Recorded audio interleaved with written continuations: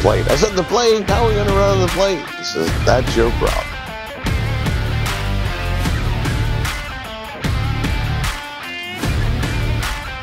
I love Robert Geller. He's the best. He's fun. He loves what he does.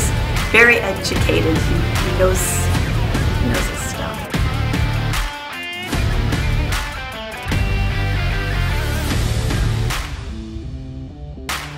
really loved the way in which she opened up and that the fact that the crowd caught her move as I mentioned it, I could feel that the entire, or we in sync could feel the entire explosive move.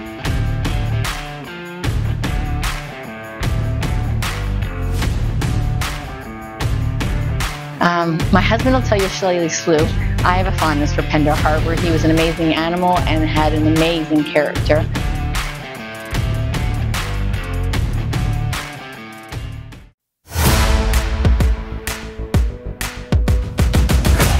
I'm not that worried about anybody. As long as my horse gets over there good, we're going to have to run to beat him. My dad never got a chance to win the plate. He got beat a whisker with way over in the Queen's plate, so I think he'd be really proud if he won the Queen's plate.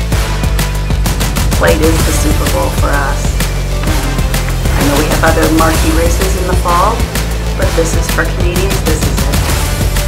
Stanley House is their main horse, athletic, robust, really impressed from the ability of this horse to progress and show a lot more forward positioning, and I think will go the distance. But I am impressed by Cool Kiss. I think Cool Kiss has really got this ability to uh, turn on a fantastic finish.